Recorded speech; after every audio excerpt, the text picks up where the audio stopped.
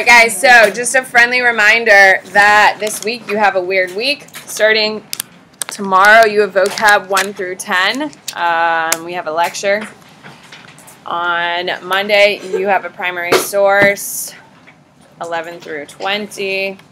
And then on Tuesday, 21 to 30 in a lecture, you have essays going home on Tuesday. You have uh, Wednesday, no AP World because it's PSAT day. With that being said, you will have lectures, uh, essays to write, and then you have uh, essays in class on Thursday we're going over, and then on Friday is your test. So please make sure make sure you're keeping that in mind as we go through. You have the Atlantic Ocean, the Mediterranean Sea. We have the Red Sea, Arabian Sea, Bay of Bengal, South China Sea, Pacific Ocean. This is Japan. I'm going to draw a little line. That's Korea. Oh, you can't see. There you go. All right. We got Black Sea. We're going to draw a nice dot right there. That's Constantinople. We have the Caucasus Mountains.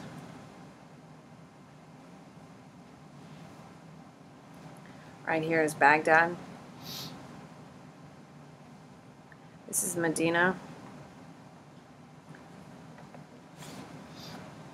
This is Mecca. Over here, this is Delhi. We have the Hindu Kush Mountains.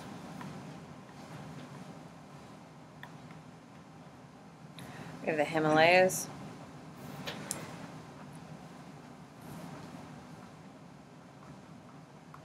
And we have Jerusalem way over here.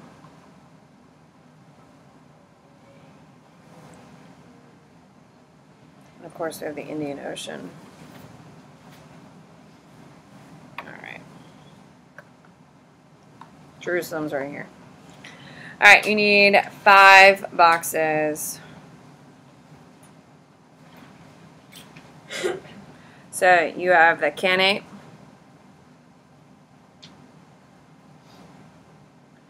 of Chagatai. You have the Khanate of the Golden Horde.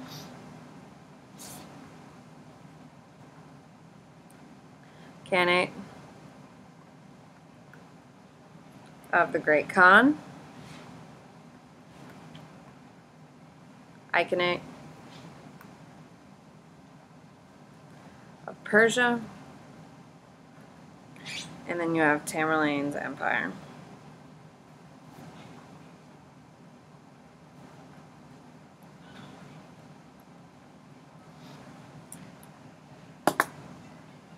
Oh, just kidding. You have other ones too. Wait, hold on.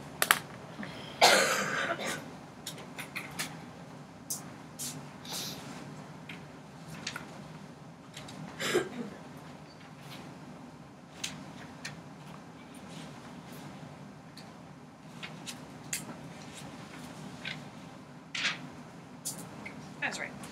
I just want to double check. All right, then you also have uh, five more boxes. Sorry. You're going to live, Jared. Would you rather me do a lecture? No? Yeah. Byzantine Empire. Sultanate.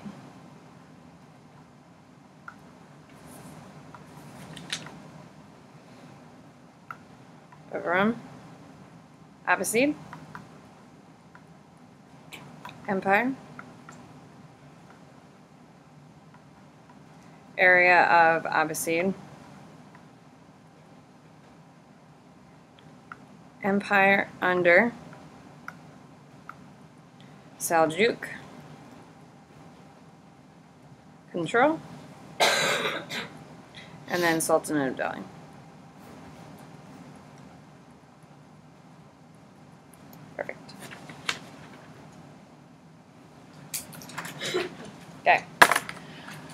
Let's start with the Byzantine Empire. For me, the Byzantines are going to be a dark green. And the Byzantine Empire is essentially here at this point. Oh, sorry. That's the Byzantines. Then you have the Sultanate of Rum, which for me is going to be orange, which is here, here. Bless you. Then you have the Abbasid Empire, which for me is going to be pink. They are way over here. Why aren't they in Spain anymore? What happened in Spain? Reconquista. There you go. Alright, and then the Abbasid is going to go all the way over here. And it is going to control all of Saudi Arabia.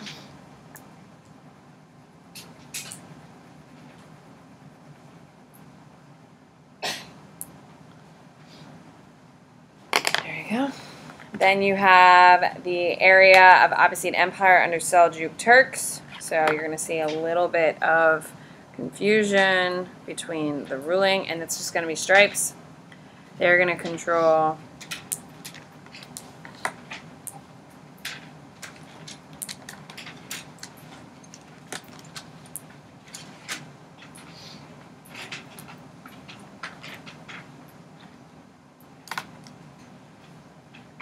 that territory. Then you have the Sultanate of Delhi, which of course is in India. For me, it's going to be a light orange. They are going to control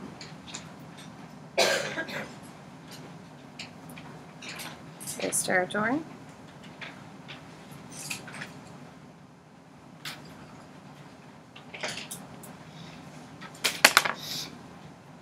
All right. Then we got the Mongols.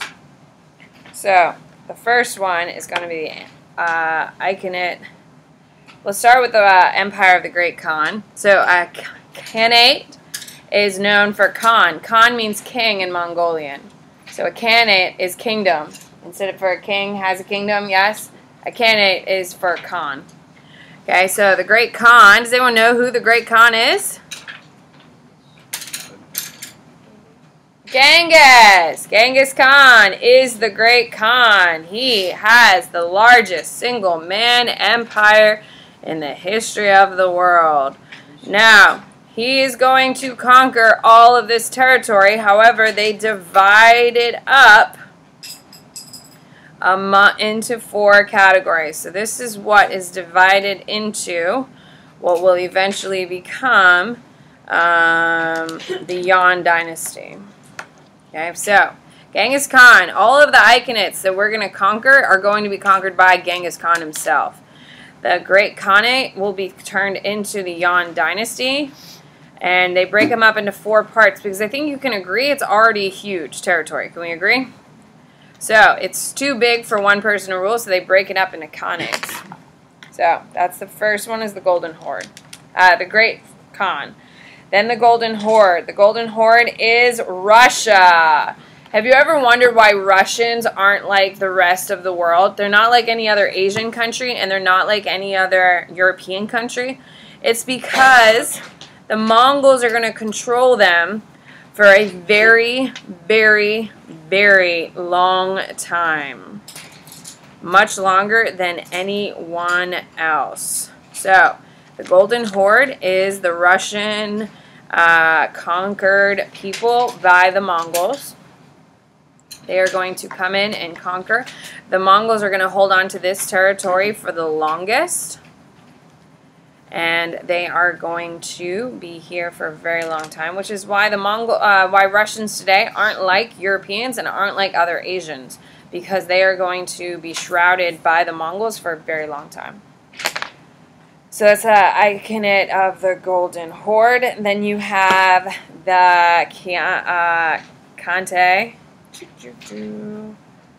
of her of Chagatai, which is going to be the smallest one for me. It's going to be purple, and it is literally right here.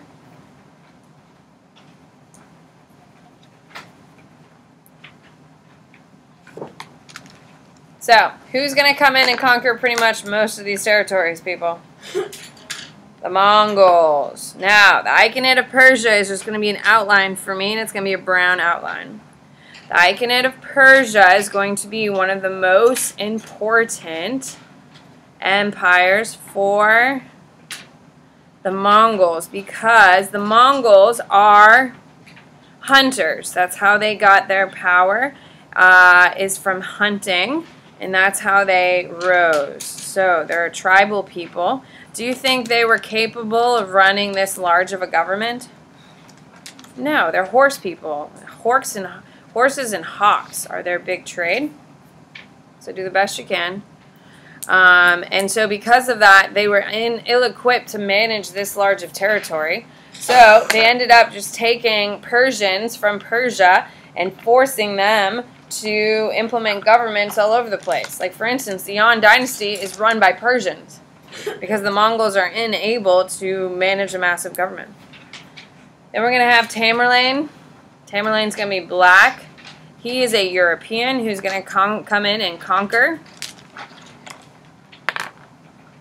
his territory. He's going to be knocked out real quick. However, he does come in and conquer a vast territory. Uh, but eventually will be defeated and forgotten. So this is Tamerlane. So he is a European. He does come in, kick some butt for a moment, and then gets his butt kicked and leaves. All right, uh, that's the end of the map. If you want to color this, I'll give you like two minutes to color this side, and then we're going to flip to the other side to make sure we got our content done. Is that okay with you? Hello? Yes. Okay.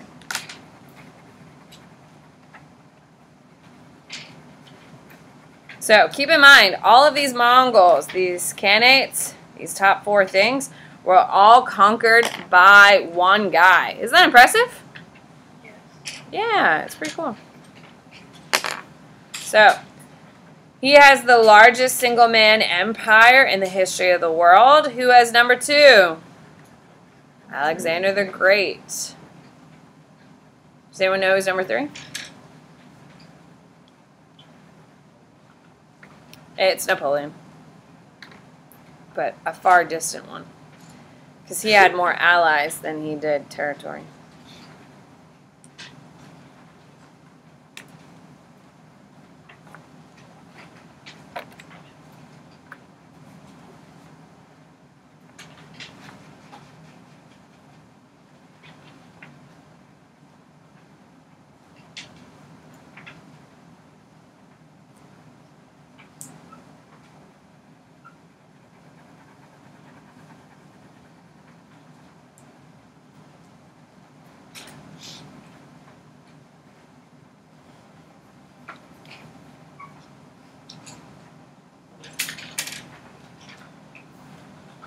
Alright, I'm going to give you about another 30 seconds and we're just going to flip it over so we can get the content done.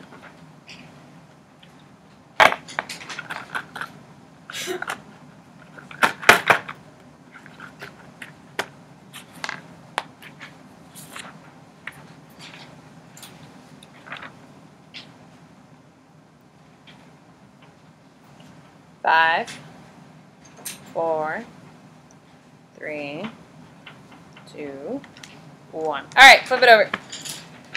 We got a lot to label. Here we go. Atlantic Ocean. This side's really not that bad, honestly. We just got a lot of labeling. Europe. We got Venice right here. Medsea. Sure. Med Sea, Black Sea, Caspian Sea.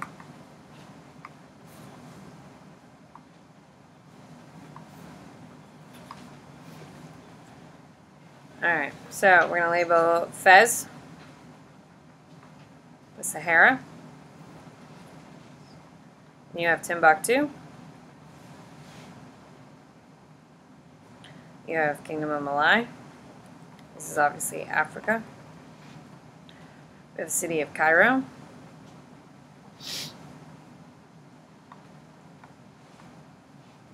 Okay, over here on this coast we have M-O-N-G-A-D-I-S-H-U.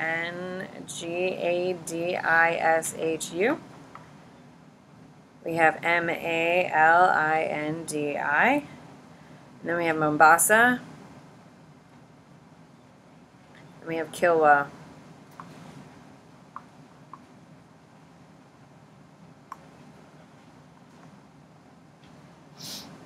Over here we have Jerusalem.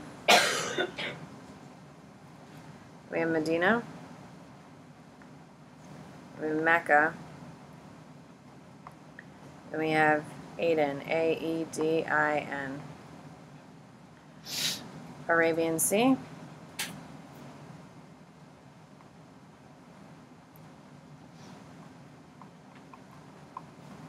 I spelled Arabian wrong, jeez. Alright. Arabian. Over here we have Baghdad.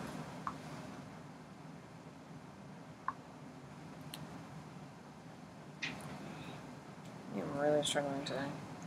Then we have the trading city of Zuraf, S-U-R-R-A-F.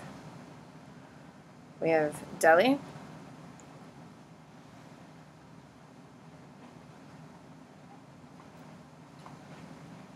We have the Maldives, which is my husband's dream vacation, which are in the Indian Ocean. Bay of Bengal. We have South China Sea.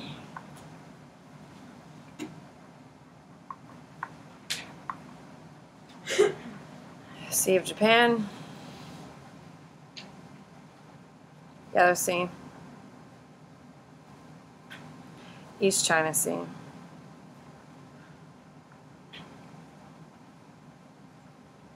Over here we have H-O-N-G. Z-H-O-U. And over here we have Q-U-A-N-Z-H-O-U.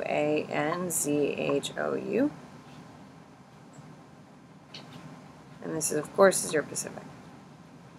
And you only need three boxes. One, two, three. You have the Mongol Empire. We have Marco Polo's travels. Did you know he was a real person? Oh, good. Ibn Battuta. And why do we care about a Ibn Battuta? He's what? He's a Muslim, and he's going to wander around and share a bunch of stuff. All right. So, we're going to keep it simple on this side. So, the Mongol Empire is all going to be captured by Genghis Khan. So, it is the largest single man empire in the history of the world. I'm moving. Okay. Largest single man empire in the history of the world.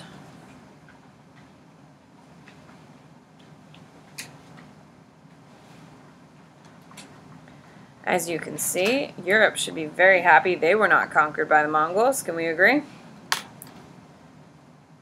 And pretty much everything except India. Why wasn't India captured?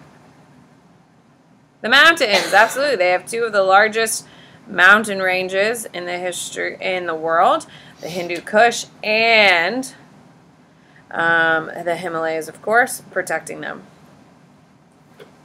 Are you impressed? Yeah, it's huge. Now, the interesting thing is that the Mongols are going to obviously target China first, um, and they're going to take that territory. Uh, and then they just have a reputation for being just completely heartless.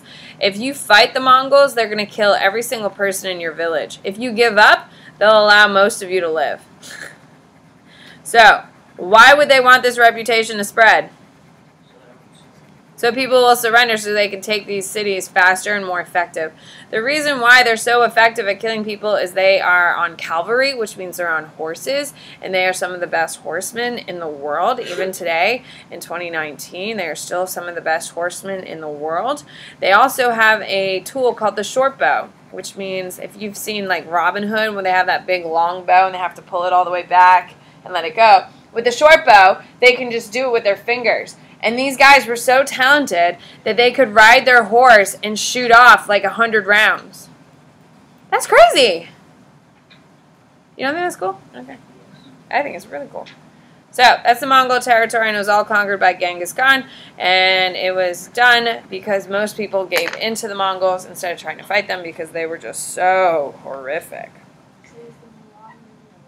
Huh? The Mulan is about the Huns. The Huns and the Mongols are different. Okay.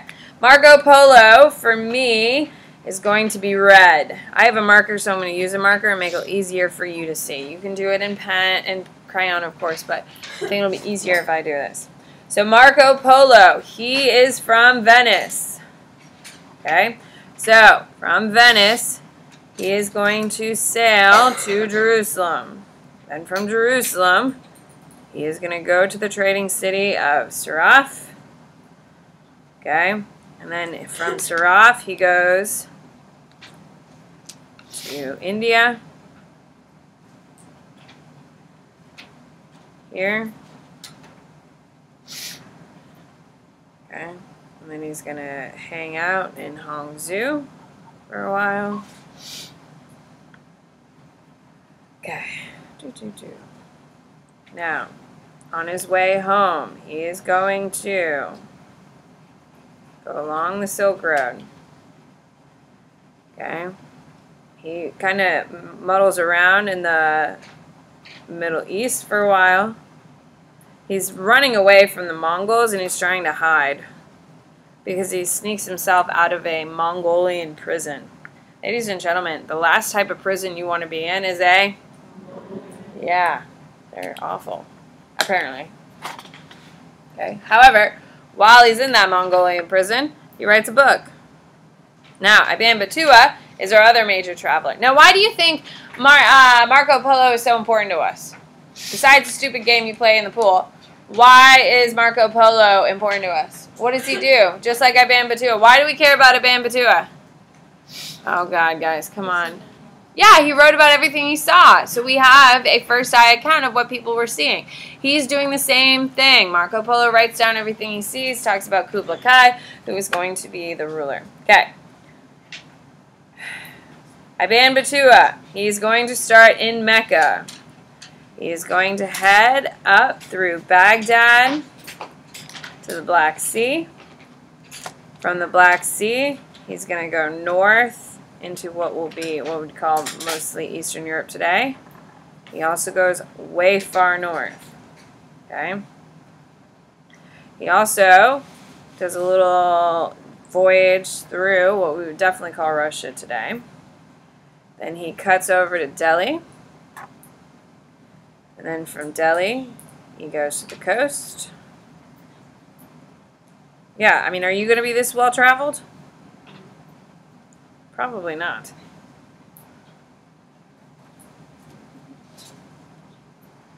Do the best you can.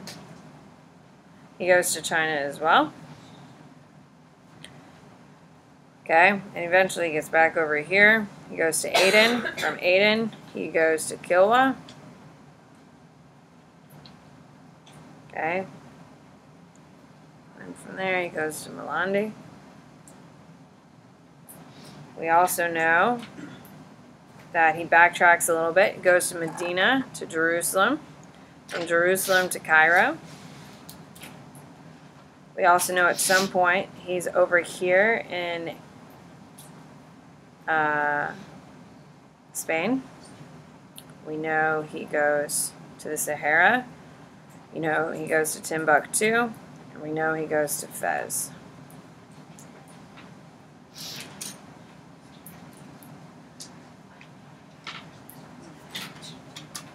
Katie, are you okay? Do the best you can. Ladies and gentlemen, Do you think you'll be that world traveled? Probably not. Maybe Jared. All right, that's it. That's the map. So these two travelers, Marco Polo and Ibn Battuta, are going to be huge for historians just because they are going to provide eyewitness accounts over um, what life was like during these times, which is a very big deal. Okay, so uh, Marco Polo is going to hang out with the Mongols for a while. He's there for like five years with the Mongols, and Kublai Khan like really likes him. He's the guy in charge of the Chinese uh, Mongolian state. Uh, and he gets along really well. But then he starts sleeping with uh, Kublai like favorite girlfriend, and then uh, you know things don't go so well. He ends up in jail, writes a book, and then smuggles himself out of jail and makes it back to Venice. When he gets back to Venice, he publishes his book, and then all of a sudden, everyone is fascinated by China. And so people are going to start going and exploring China. He's gone for like 20 years by the time well think about it by the time he leaves like he's doing this all by slow ship or by like horse or even walking at some points you can read his book like his book is a real thing i don't know if you could go to like the library and pick it up because it's kind of like who the hell reads marco polo when it's written in the 12th century? But like you can totally buy it online if you care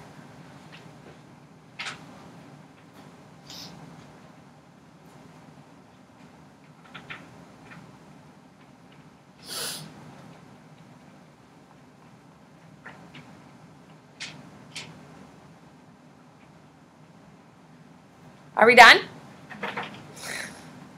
Okay. What time do we leave?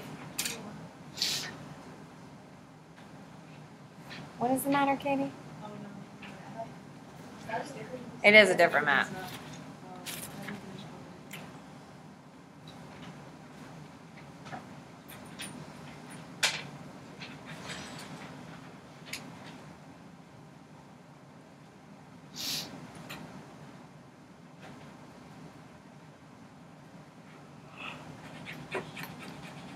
I'd really like to do some notes today. Do you think that's possible or no?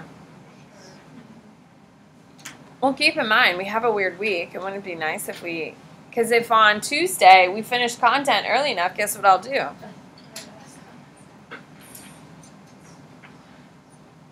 If not, guess what you're doing all by yourself? Yes, two of them. Because remember, you're getting two on Tuesday. So that's exciting, right? Isn't that what we were all thinking? So the faster we get through content this week, the better life is long term.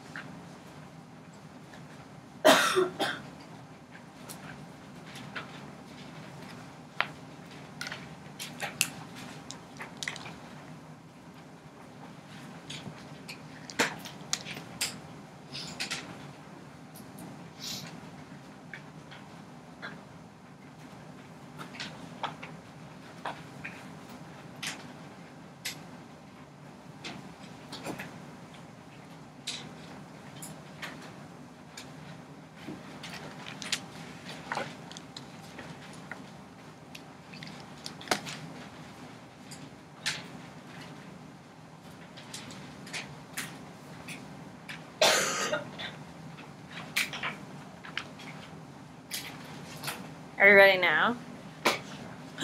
really? Fine, I'll give you one more minute. Is that okay? Okay. How exciting.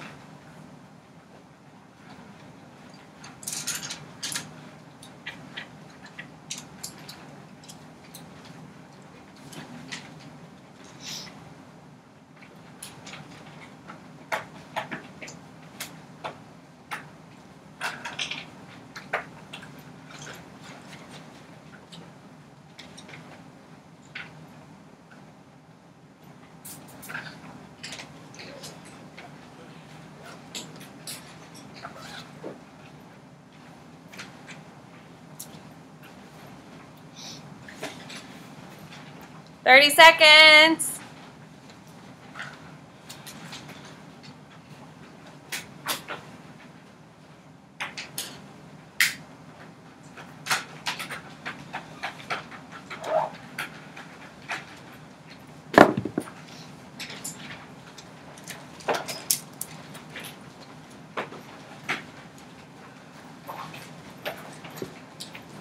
Seconds. Take out your notebook. This is so exciting. Are we excited? Yay! Me too. Yay. Everyone loves the Mongols. Let's start killing millions of people. Yes. I would love to kill at least three million people today. Let's do it. Five, four, three, two, one. Yay! Mongol time! Mongol time! Total on the top of your notes, right? Week 10. How exciting! Week 10 at the top of your notes, right? Mongols! Everyone loves the Mongols. Maybe not Lauren. Alright, here we go. You need to know that the Mongols live in Central Asia. They're traditionally from Central Asia. They depend traditionally on animal herding, migratory patterns, which mean if they're if they migrate, they're following what? Animals. They're following the herds, and they do small scale farming.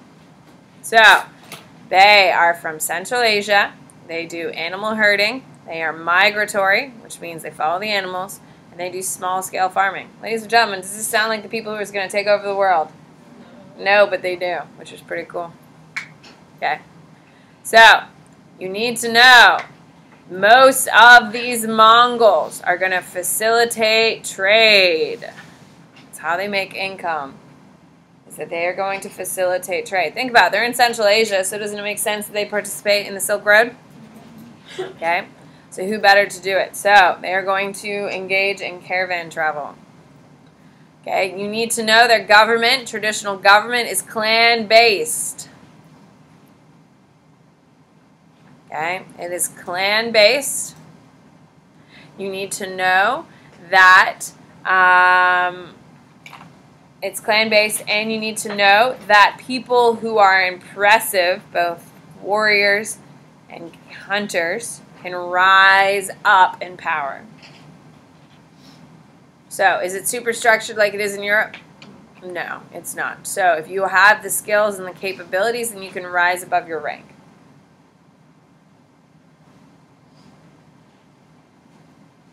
Okay, in traditional Mongolian culture, women are influential. Is it all women or just Mongolian women?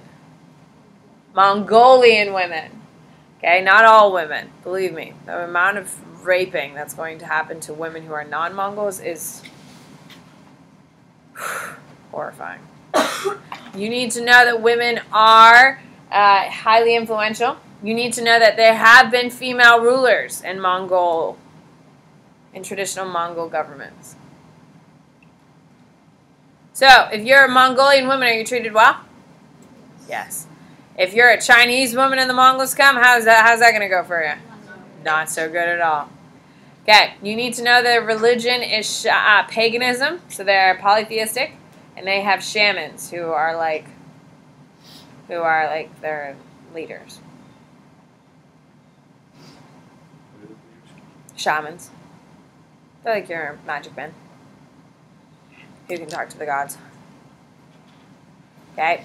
You have some convert to Islam. Why do some convert to Islam? They're traders, absolutely. Remember, trade is going to be the most popular. Uh, trade is going to be a huge uh, employment for most of these Mongols. So some of them are going to convert to Islam.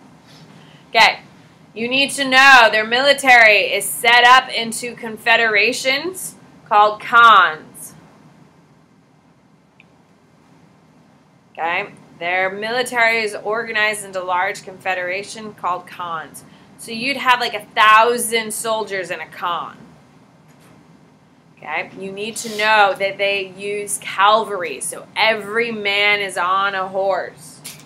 What's the benefit to having every man on a horse? Oh, it's fast as hell, man. They are the fastest military the world's ever seen to this point. Okay? Because every single man is on a horse. Okay? So, I don't really want to do that, so I'm not. Okay, here we go. You need to know the name. You need to know two spellings. So this is still under Mongols, but you need to know two spellings. Okay?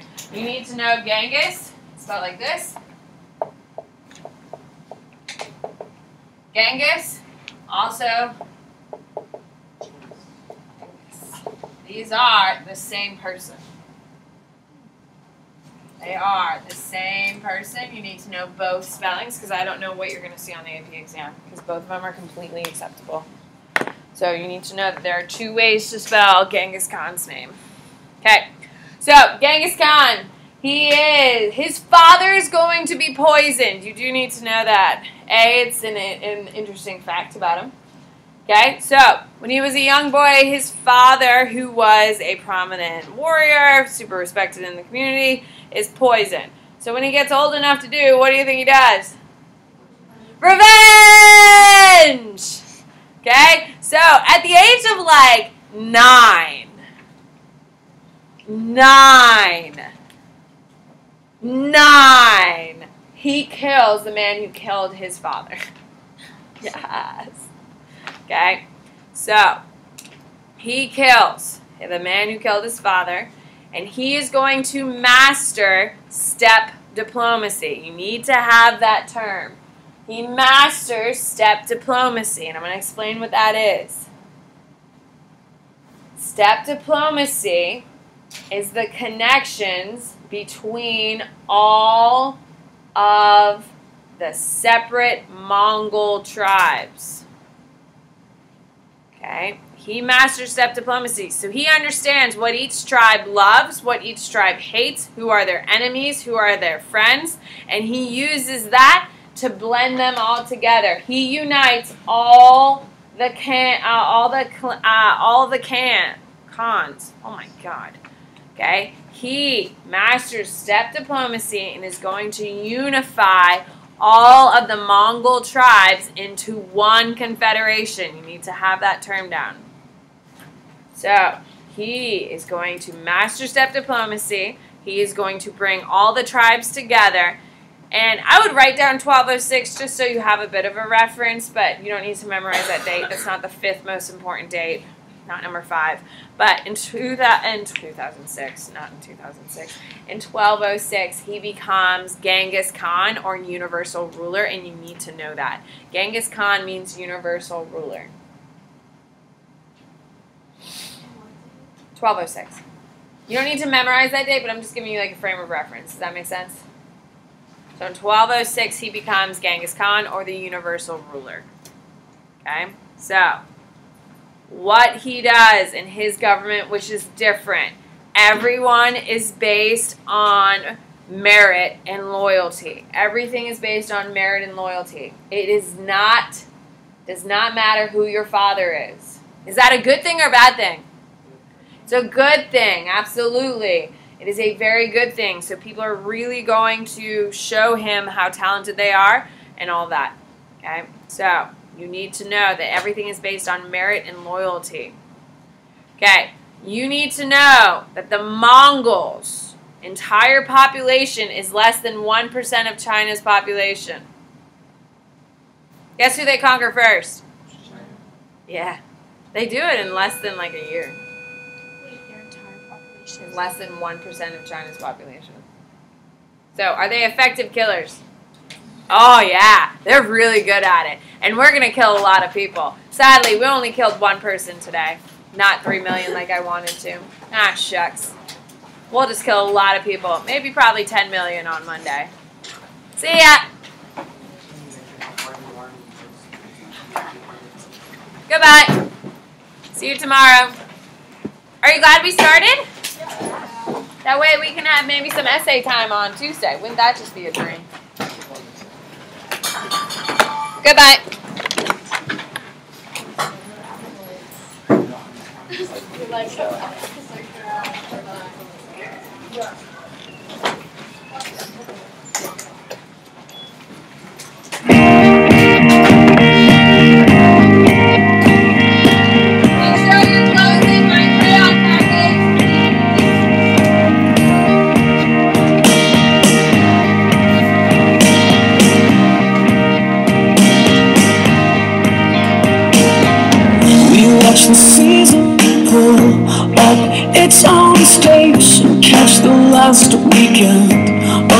last week before the gold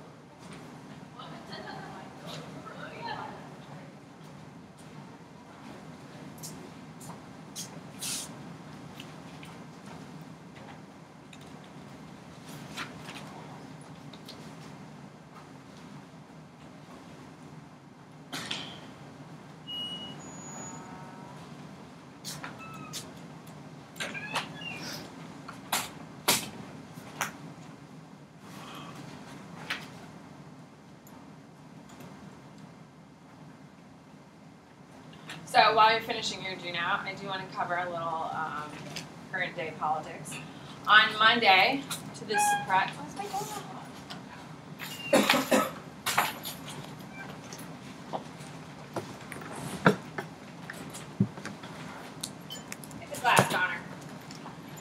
On Monday, to the surprise of the generals and the State Department, Trump announced that he was no longer going to be backing our Kurdish friends in northern Syria anymore, which is very big news. Uh, like I said, it was a surprise to both the State Department and the generals.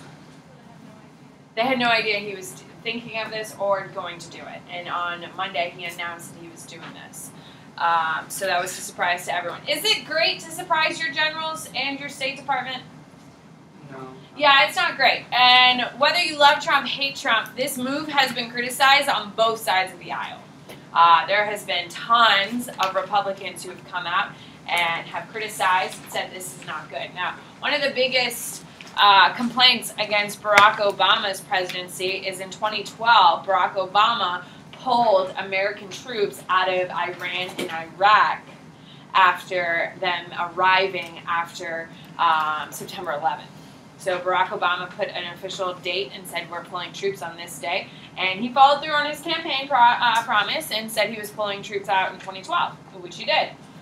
Well, ladies and gentlemen, after we pulled out troops in 2012, guess what grew in the region? Have you heard of a thing called ISIS? ISIS didn't exist really. It was a very small fraction pre 2012. However, with American troops out of the region, guess who grew to be an incredible, powerful force? ISIS. So the big concern is, is that if we pull our troops out of Syria, that what's going to grow? Terrorism. Well, we announced, oh, well, we uh, President Trump announced on Monday that we are not going to be supporting our Kurdish our Kurdish friends. Now, our the Kurds in the region, they believe these Kurds, they believe. So tell me what sect they are. They are waiting for Muhammad's descendant to lead them. So what are they? Shiites. They're Shiites. So are they the minority or majority? Minority. These Kurds have been fighting with U- U.S. troops since 2001. So almost 20 years, these Kurds have had our back. Now we have had problems in Afghanistan with Afghanistan military members assassinating U.S. military members. However, the Kurds have had our back the entire way. So, is this a good thing or bad thing for the relationship between us and our constant ally, the Kurds? It's not good, which is what a lot of the Republicans have come out and said and said this is not good. It shows that if we're willing to drop the Kurds after 20 years of loyal service, what does that tell our other allies? Probably not a good look. Can we agree? Which is what most of the Republicans are coming out and saying that this isn't a good look for other allies. So that was Monday. Yesterday, uh, Turkey invaded Syria. Uh, 750 casualties were killed this morning. Uh, were killed so far in the attack, uh, and it's still going. Like this morning, CNN was live in Syria and in Turkey, and there were just rockets going off. Um, Turkey apparently just wants an 18-mile buffer zone. That is now what we would call current-day Syria. Ladies and gentlemen, we haven't got to this content yet, but in 1817, we are going to sign the Treaty of Waterloo. Okay, Treaty of Westphalia. We are going to also sign the UN Peace Accords in 1947 that makes it clearly said in these three documents that you are no longer allowed to conquer another ter- sovereign territory. How's that going? They've already taken uh, probably about 12 miles into Syria already. 750 casualties have already been killed. Now, do you think these are military casualties or ci- uh, civilians? They're civilians. They're men, women, and children. They're just living their life and getting bombed in their homes. We announced on Monday we weren't going to be supporting the Kurds, and on Monday, 150 of our troops were pulled from the Kurdish ranks. Now, Turkey never bombed any any Kurdish rank directly because if an American was killed in a Turkish bombing, that would have increased the firefight of the Americans, correct? So by having only 150 Americans embedded with the Kurds, we kept all the Kurds safe. On Monday, the U.S. military pulled 150 Americans from the ranks of the Kurds. What happened Tuesday? Invasion. 750 Kurds are dead. So, this is an evolving thing. It is a very political thing. It is a huge deal. One of the biggest concerns about it um, is A, the impact of the rise of terrorism. Now, Donald Trump has claimed that ISIS is dead. I will tell you, ISIS is not dead. They happen to be in Kurdish prisons. Ladies and gentlemen, if the Kurds are no longer being protected, how do you think their prisons are going to go? They've already announced that they can't protect their prisons. When the war comes to the gates of these prisons, they're just going to open the prisons. So, what happens to all the ISIS soldiers in the prisons? They just go free. So, where do you think they're going to go? Back home? Do you think they're going to recruit more people? Do you think this whole thing is going to cause an eventual resurgence? Yes. Okay, and that's part of the big problem. So immediately, obviously, the invasion of another country by another country is not good. The UN has called a special uh, meeting, and they are getting together right now to discuss what's going to happen. The UN is not going to set up a military return, probably. They're going to start putting more and more sanctions on Turkey. So does that mean it's going to stop immediately? No. Um, so this is a very big deal. Now keep in mind, the Turk Turkey is supported by what country? Turkey is not supported by the United States. The United States picked the Kurds. Who else is a major one of our uh, nemesis at the moment on a world stage? Russia. Russia. Russia's backed by uh, Turkey's backed by Russia.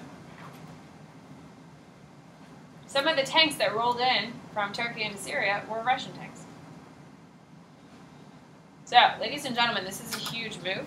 Um, Russia's already gotten in trouble for uh, taking over a territory that wasn't theirs, called Crimea, and about six years ago. And here we are, and we, we, are, we know for a fact that the Turkish are being supported by the Russians now. So, day to day, does it affect our lives? Us as Americans? No. Um, however, is this a big deal for potential terror threats? Absolutely, and that's the big thing. And that's one of uh, Barack Obama's biggest criticism is because of his pulling out of American troops out of uh, Iraq and Iran is going to build to the rise of ISIS. Now, ISIS was never fully defeated. However, is this going to lead back to a huge boom of terrorism, especially if we just open up the prisons and let them out? That's a big deal. This is a bi, uh, a bipartisan issue. There's Republicans and Democrats who are criticizing the president at this point. Um, there's a couple reasons why people are trying to understand why he would do this, but there's a lot more uh, cons to it, so you need to do a little bit of research on it uh, to figure out where you believe. Because keep in mind, uh, Donald Trump, when he was running for office, he did say he was going to bring back home troops, and those 150 Americans who are now going back to their homes, okay, we can agree those families are happy to have their sons and daughters home. Can we agree? Um, but we also have to look at the big picture and see what's best for the country, for the region, and all that stuff. So, I mean, it's a very big deal. Uh, a lot of blood has been spilt in the last 32, 36 hours. So uh, please be following this. It's a huge deal. Uh, Trump has said that if Turkey does anything that he doesn't agree with in all of his wisdom, it's like pretty close to that quote. Maybe not an exact quote, but check out his tweets. Um, he says something to that degree that he will fire the wrath of our U.S. economy and our military. What does that mean? I don't know. What what would be the straw the Turkish leader does that will inflict our economy and our military? I don't know. It's a little vague of a statement, but um, it's a very big deal what is happening to our Kurdish ride or dies, ladies and gentlemen. Okay, they uh, the Turkish government has said that if anyone interferes with their taking over of this 18 mile buffer zone, as they say, that they will un, uh, unleash millions of refugees on Europe.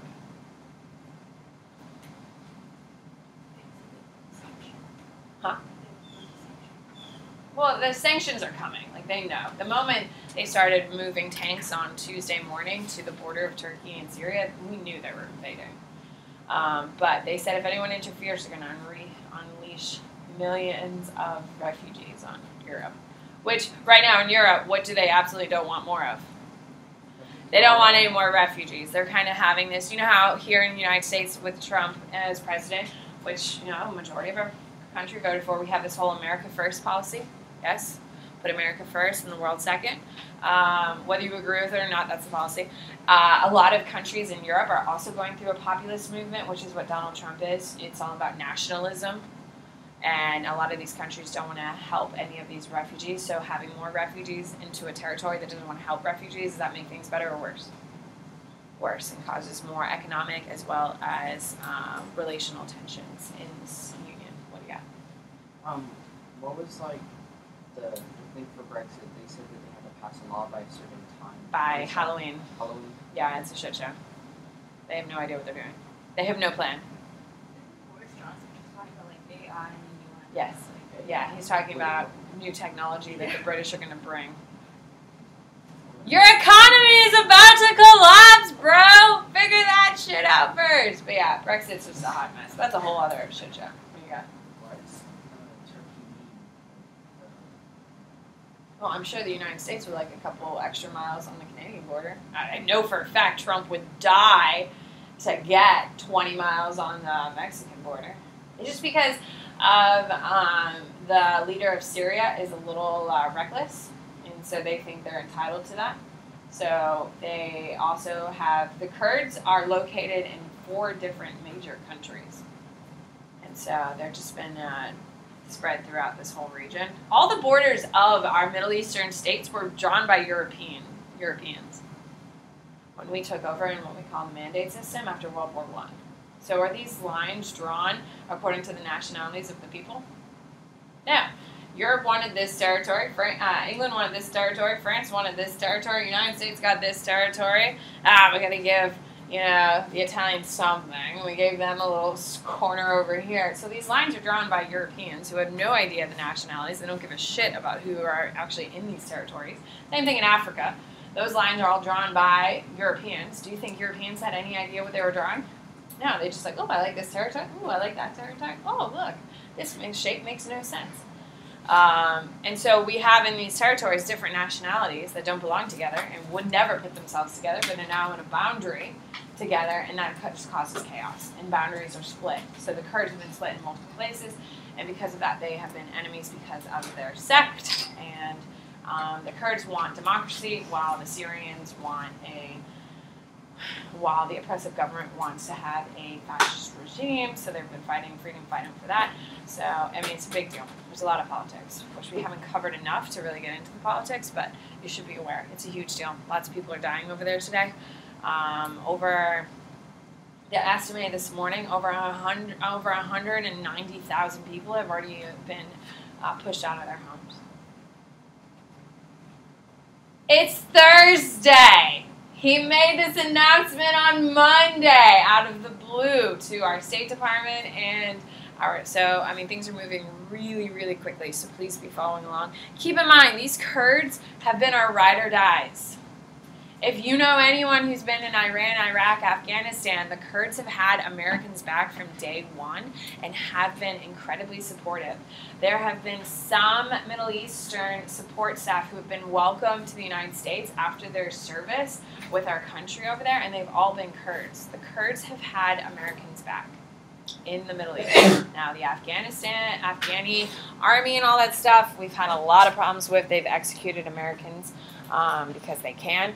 Uh, the Kurds have had our back. And so your heart should be breaking for people who have really helped America and have really kept a lot of our soldiers safe and have put their lives on the line to keep our soldiers safe. So, I mean, that's what's happening right now, and they're literally being like murdered. So, you should be following along because it's a very big deal. And it is a bipartisan issue. People on both sides of the aisle are not happy. So, anyway, thought you should know. I know I was happy to have a couple questions, so whew, who knew second period? You know words. All right. If you gave, if you did your do now, give yourself a four.